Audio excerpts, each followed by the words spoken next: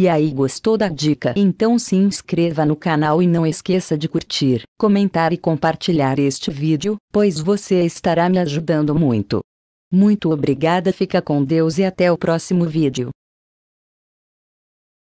Remover foliculite e cicatrizes de acne no bumbum naturalmente. Ingredientes: uma colher de azeite de oliva, uma colher de bicarbonato de sódio, duas colheres de suco de limão, sabonete natural. Como preparar? Misture o azeite de oliva, o bicarbonato de sódio e o suco de limão muito bem. Coloque a mistura em um frasco de vidro. Modo de usar: Lave as nadegas com sabonete natural e água morna. Deixe o sabão agir por 5 minutos antes de lavá-lo. Massageie o bumbum com a mistura por 10 minutos com foco na foliculite e acne. Depois enxague com água fria e seco e com uma toalha macia. Faça este tratamento três vezes por semana.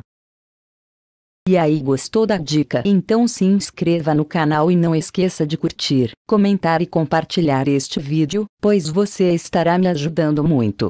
Muito obrigada fica com Deus e até o próximo vídeo.